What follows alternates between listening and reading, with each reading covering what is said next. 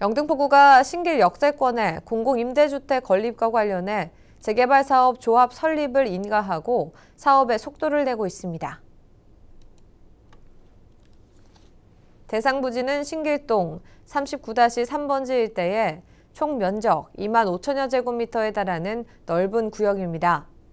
2020년 6월 정비 설계업체 선정을 위한 주민총회를 시작으로 올해 5월 21일 조합 설립 창립 총회를 통해 조합장을 선출하고 정관을 확정한 뒤 7월 5일 인가가 최종 승인됐습니다. 신길 역세권 사업이 완료되면 도로와 공원, 어린이집 등의 도시 기반 기설, 사회복지시설과 임대주택을 포함한 공동주택 총 999세대가 조성될 예정입니다.